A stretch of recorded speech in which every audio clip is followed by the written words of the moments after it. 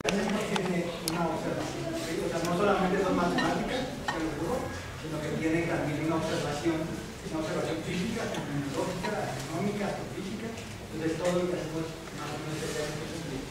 Entonces, bueno, voy a darles un resumen así de lo que hacemos y lo que vamos a hacer. Y bueno, es, es la tecnología, cómo se trabaja, cuál es, es el modelo más exitoso actualmente. Vamos a analizar el modelo más exitoso, se llama Lambda, que es un caso más la tecnología. Entonces, bueno, antes que nada, ¿qué es la cosmología? La cosmología, pues bueno, es algo muy, eh, muy ambicioso, porque quiere estudiar el todo. Entonces, todo es el universo completo, desde, sus galaxias, desde los clústeres de galaxias, desde las acumulaciones de los clústeres de galaxias, desde las estrellas y también lo pequeñito. ¿sí? Entonces, para eso, tenemos una herramienta que la está ahí. Y simplemente es que, en vez de que para él, en vez de hacer fuerzas, escribiría. ¿sí? Entonces, escribió esa ecuación. Esa ecuación se ve bien bonita, bueno, es casi casi fuerza igual a masa por aplicación. Así de fácil. Pero, aunque la vean bonita, tiene cosas ahí muy, muy profundas y hay cosas eh, bastante interesantes y retadoras de resolver. Del lado derecho es la materia que ocupa en el llama tensor de este momento. La de izquierda es la geometría, que llama tensor de Einstein, son tensores, que un poco de pero son formas matriciales de una unidad física. ¿okay? Y el 8 pi que es el simplemente es lo que nos iguala tanto la como la. Del lado derecho nos metemos nosotros, del lado derecho, que somos la materia ¿okay? y la energía. Y hay una forma, una estructura, una, una fórmula básica de cómo nos podemos describir matemáticamente todos ustedes y todo lo que observan. De esa manera. Es bastante, es bastante bonita, ¿no? Esta es como de primaria. Pero esa es una fórmula de todos nosotros, de todos los campos, de los campos, las estrellas, las galaxias, planetas. Se llama la Lagrangiano, desde la Lagrangiano puede meter ahí todo lo que, todo lo que tenga.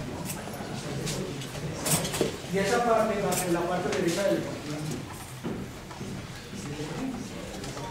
Bien fácil. Pero todavía no mostramos la parte izquierda. La parte izquierda.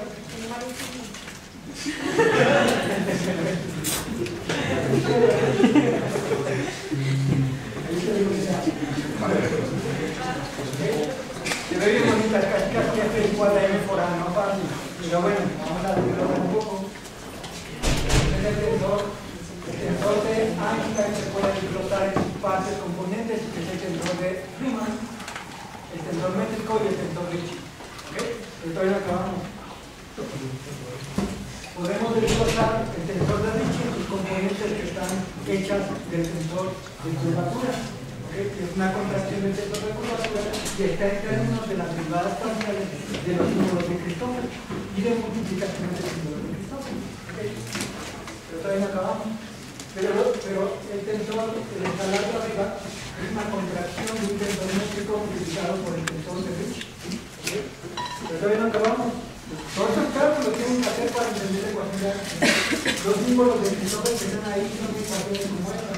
Son tensores métricos contravariantes multiplicados por la suma de las derivadas parciales de tensores métricos. Y todavía no acabamos. Como le dije, esa, esa entidad fundamental que llamamos el tensor métrico es la medida de cómo hacemos observaciones en el universo y está de esa manera. De hecho, hay una notación, la notación de Einstein, cuando se repiten los límites, hay sumatorias. Entonces, todos mis alumnos hacen estas ecuaciones. Y no solamente, también agarran ese tensor métrico, y ese tensor métrico, cuando meten la, la densidad que les había mostrado anteriormente, encuentran ya la forma general de ese tensor. Y entonces, todas estas ecuaciones las tienen que hacer. Entonces, cuando Einstein lo vio, digo, tanto, es como que hacer el universo, pero está, bien, bien, bien caliente.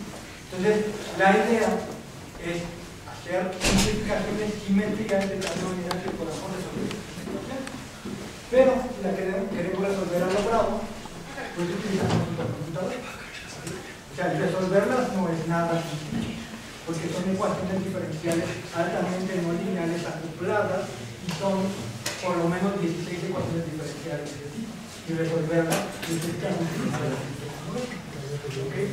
y los países avanzados se encargan de hacer todos los desarrollos. Nosotros todavía no tenemos una computadora.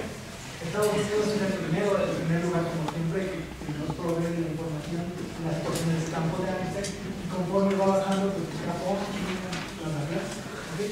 Y con ella, pues pudimos dar una forma teórica de lo que observamos actualmente, que es una las ondas gravitacionales es una ecuación de Einstein que demostrar, pero ningún tipo de simetría. Y resolverla es totalmente complicada.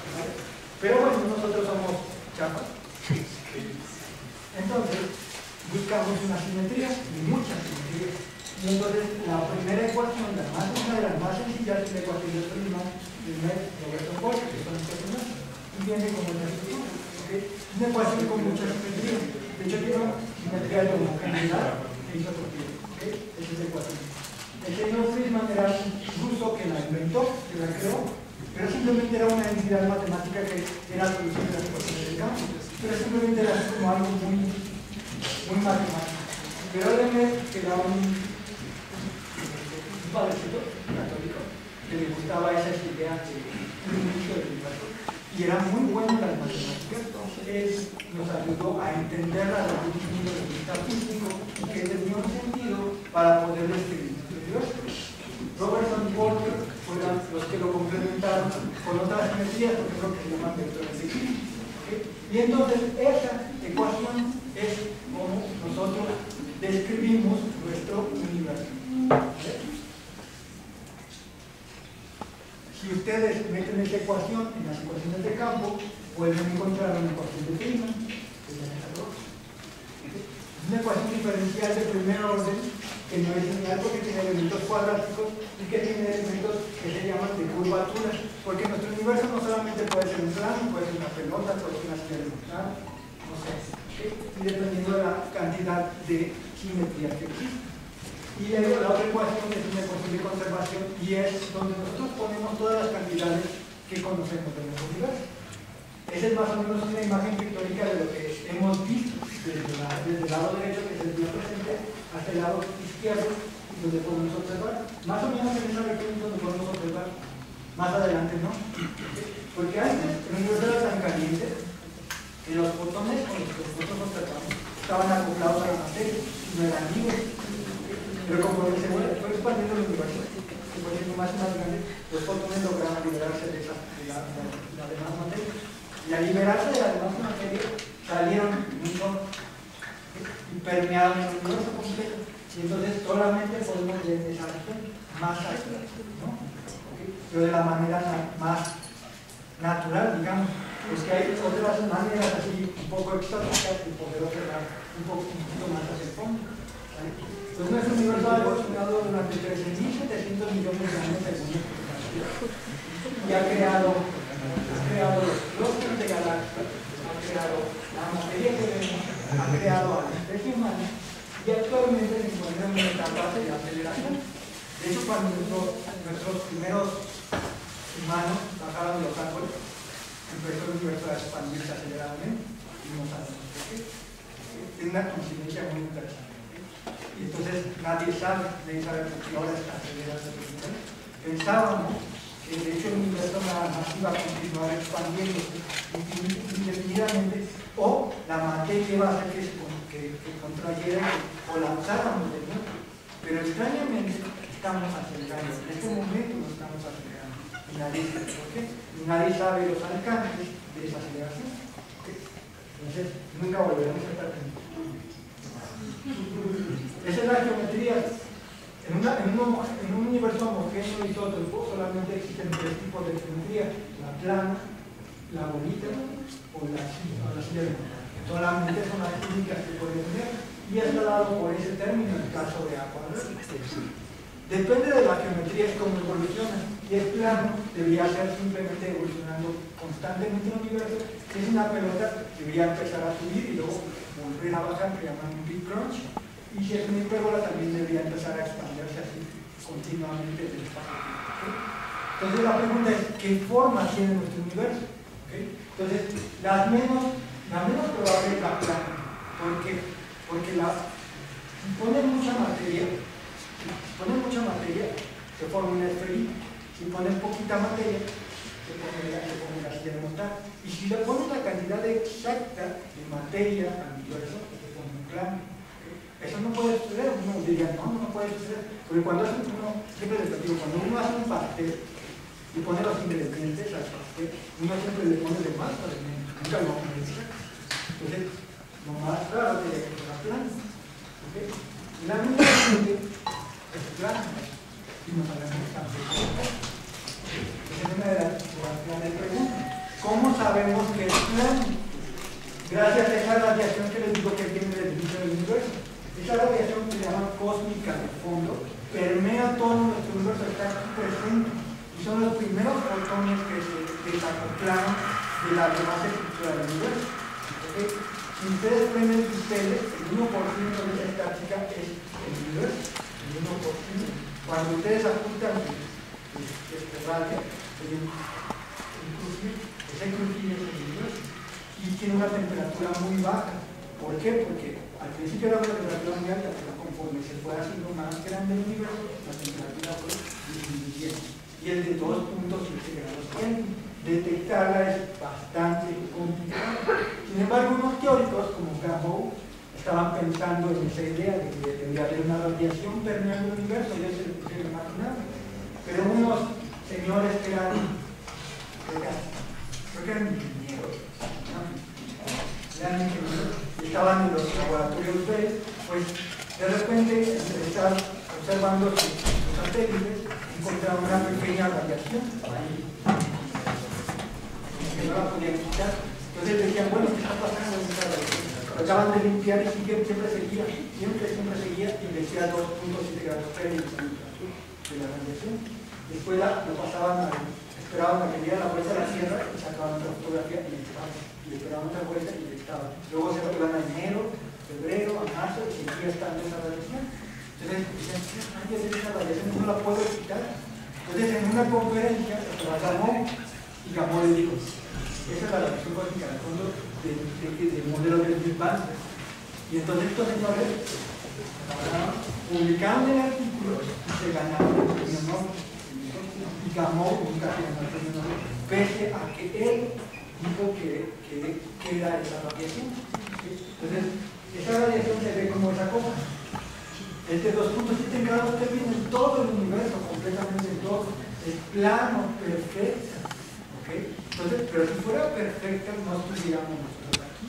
Porque homogeneidad isotropía significa, por ejemplo, que yo al ver hacia enfrente no veo a fuga, debería verme a mí otra vez, pues yo no vería a nadie aquí. O si votara, no debería ver eso. ¿Okay? Entonces, el universo no es tan como nosotros. Entonces, ¿por qué nos muestra esa, imagen? Sí lo es a muy grandes escalas, pero a escalas muy cortas debería haber unos pequeños cambios.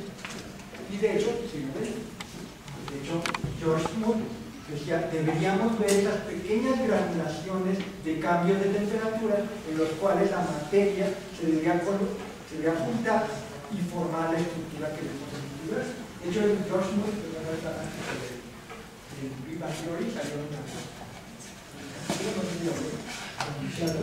y de hecho es uno de los, bueno, en el premio Nobel son alrededor de un millón de dólares, de un millón de dólares contra esa gran Pero además era fanático de un concurso gringo de esos de, de, de, adivinar, de Jeopardy. Era, era fanático de eso. Y se lo ganó y se ganó otro millón de dólares. y de hecho tiene una casa en los campos. Y es parte de, bueno, él es como, él trabaja mucho con los mexicanos porque él trabaja con un instituto que se llama Instituto de Cosmología que él vino a inaugurar. Entonces trabaja mucho con nosotros a ver si vamos a ¿Está casado?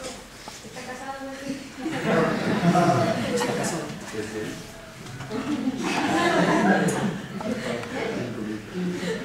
Entonces, esto, todo, toda una personalidad es okay. Su fotografía fuera de la derecha con un satélite que se mueve pero, pero su historia es muy interesante la de este señor porque este señor nunca se rindió de las cosas que siempre debe tener un físico. Su idea siempre estuvo ahí. Le dijo a la NASA, quiero un satélite que mida tal temperatura. Y la NASA dijo, no. ¿Cómo que no? No. Y entonces él lo que hacía es dice, me dijo la casa, hasta que me perfecciones ese satélite y me estás pidiendo, le doy, no, no. Entonces pasó 20 años perfeccionando su tecnología con globos, midiendo, la estratosfera, una radiación cósmica, 20 años hasta que la NASA dijo, sale, y ya salió el cohete, una fotografía del universo y bueno, las granularidades, en vez de ser homogéneos, hacía granularidades de fotografía con eso se la ¿no? Pero no es tan sencillo, se dan cuenta, o sea, no se lo ganan de la, de la noche a la mañana, es todo un proceso de investigación, no es simple. Otros aparatos, este se llama eh,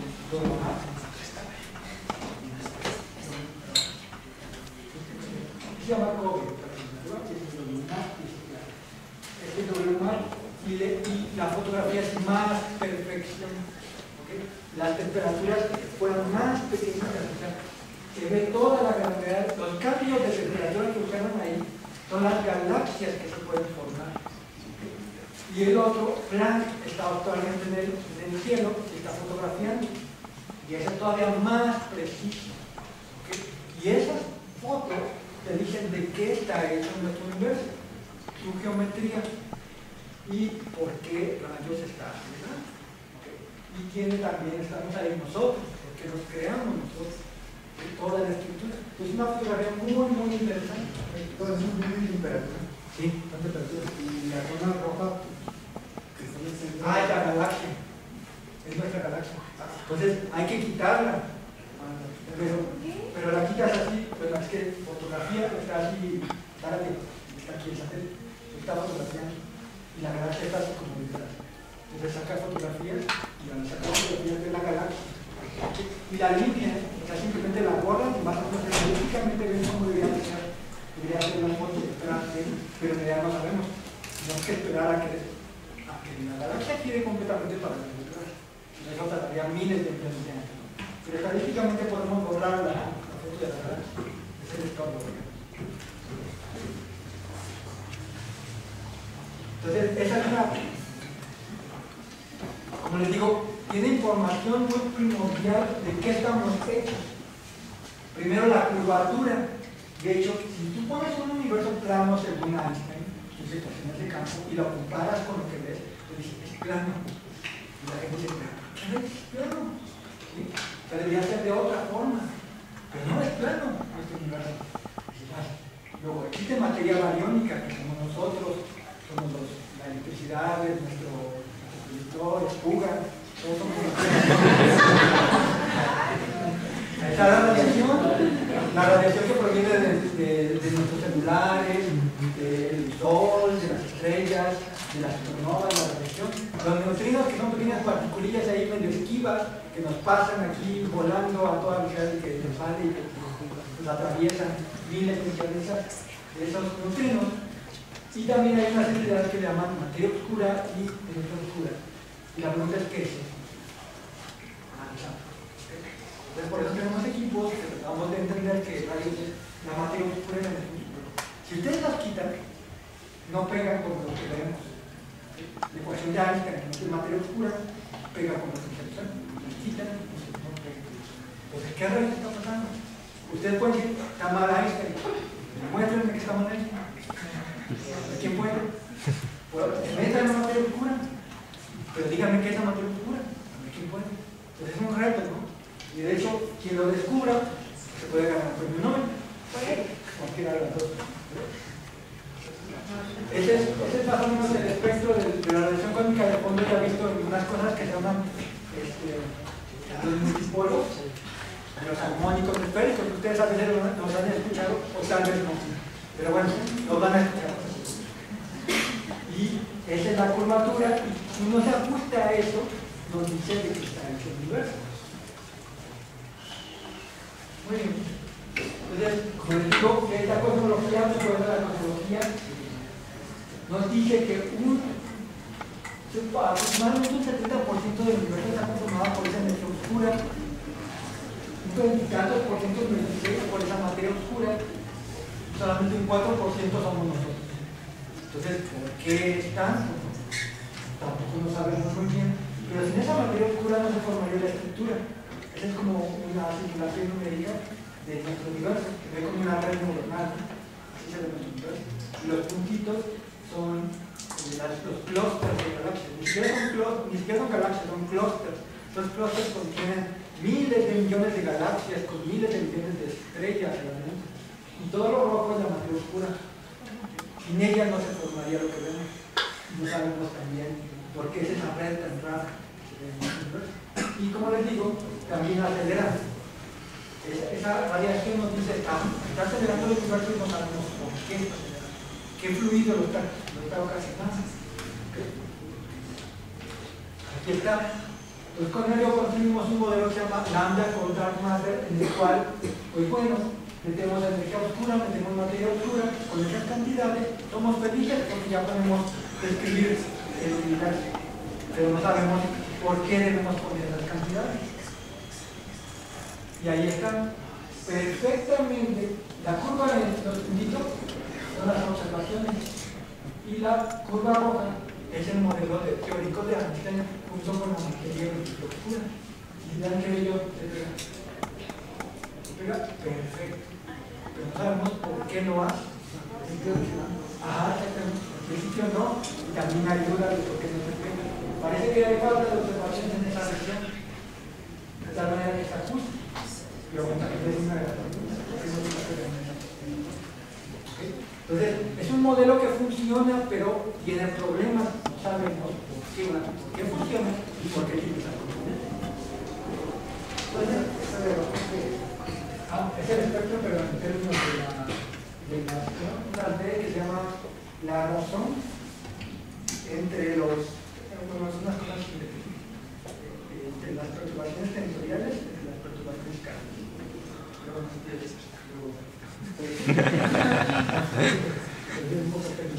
y del otro lado, la derecha, las, las cantidades de Entonces, de hecho, hay, actualmente hay, hay un artículo en Nature en el cual nos dice que parece que la palabra no existe estadísticamente, pero uno siempre tiene cuidado, o sea, cuando nos llega una noticia, porque no, aunque nos tiembla así todo, pero no, o sea, siempre hay que tener la calma y parece que estadísticamente la oscura no, va a pasar pero el hecho de quitar la oscura también crearía el modelo del Big Bang, un modelo muy exitoso. Entonces nos metería en un conflicto muy, muy. Lo bueno, es lo emocionante de la física, de ver qué rayos es lo que está pasando. Y entonces, para terminar, estos son los retos, ¿no? Que es la materia oscura de la energía oscura, nadie lo sabe. Eh, tenemos evidencias de la inflación de nuestro universo. Nuestro universo tendrá más dimensiones, esas me gustan o tiene menos dimensiones. ¿Qué pasará? Hay supersimetrías, supergradas, superfuerzas, ¿Quién Bueno, para terminar, el próximo Este es más o menos Carlos, el tenemos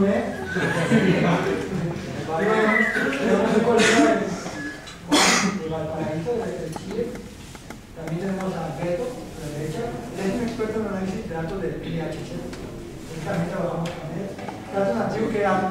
Que es mi papá académico y que es amigo con la Mato, es un Cordero también, él trabaja en Politécnica, y Luis Ureña, que y el paso de nuestro grupo de doctores. Y de alumnos, bueno, están todas Está de doctorado, está este, Mario, está Gaby de maestría, está el está Isaac que está tomando, el Félix, el, Chico, Iván, Rubén, César, Jonathan, Raúl, César con, con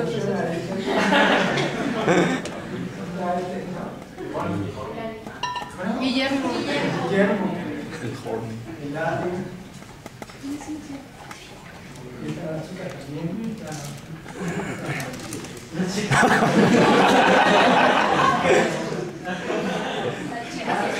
Rebeca, Ana y John.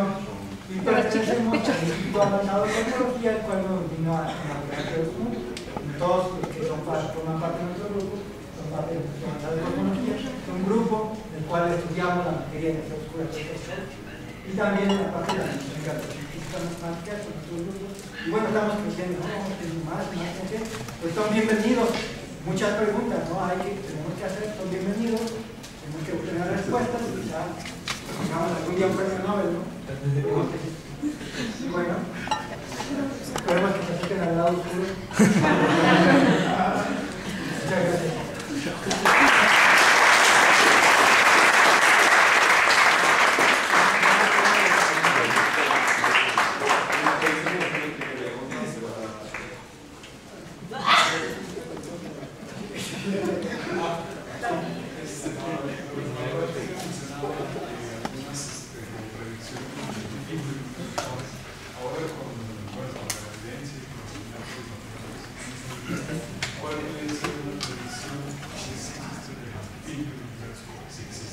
Mira, no, no hay suficiente estadística y datos para poder qué es lo que va a pasar con mundo. Lo que estamos viendo con los datos es que el universo está acelerando. Si se está acelerando significa que todos nos vamos a separar. Completamente separar. Pero hay modelos que nos dicen que no solamente va a pasar eso, sino que la misma estructura del espacio-tiempo la vamos a Por ejemplo, un modelo de energía futura cosmológica, tú te vas a separar miles de millones de luz con respecto a miles de millones de años luz. Cada vez más. Pero hay modelos que no solamente eso, que hay modelos que internamente van afectando ti. La misma estructura, tú ya vas a empezar a separar. Los protones se van a entrar a deshacer. Y la misma estructura del espacio-tiempo. A. Pero no hay todavía evidencia para decir así va a pasar. Pero son los modelos que tratan de decir qué es lo. Todavía no hay la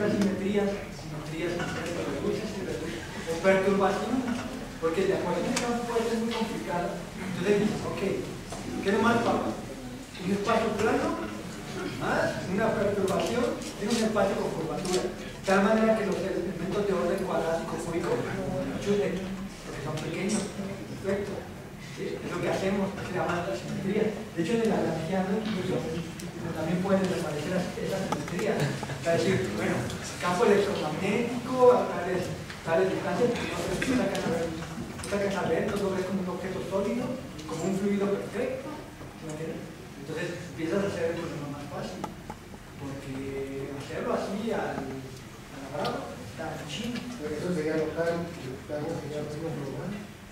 Eh, sí, exactamente, o sea, tendrías como una visión más global de los campos, no consideras el espejo de vida, la madre que creas para que sea Pero por eso hay gente que se la trata de arreglar con, con estos máquinas a meter todo sus simetrías y resolverlo. Entonces, busca la manera de pero también algo, una compleja, una cosa que no tiene